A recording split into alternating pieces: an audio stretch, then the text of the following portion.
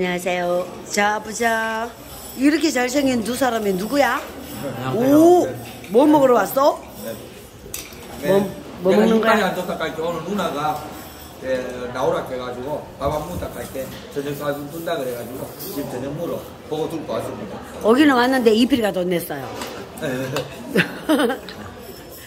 잘 먹는다. 뭐, 어, 자, 쭉쭉쭉쭉쭉쭉. 먹방에 우리. 우리 진짜 먹방의 대표 네, 먹방 대표입니다. 먹방의 대표. 보세요. 언제든지 우리 예, 최서영 가수님 팀에서 예, 우리 문지자 팀의 먹방에 대결하실 분은 우리 대표 선수도 있습니다. 아, 대표 선수. 네. 먹방 대결. 한번 덤벼 보시죠. 자, 여기는 뷔페집이에요. 우리 집 근처에 있는 뷔페집에 밥 먹으러 왔어요. 이필 이빨 한번 보자. 한쪽이 안 그래도 한게 없는데. 못 살겠다. 우후. 위에가 공룡 같은 거 하면서 내가 바깥 깨물게 거미가 있었는 거야. 아, 그게 부러진 거야? 힘을 먹고 이빨 따는 거 거기 딱 떨어져.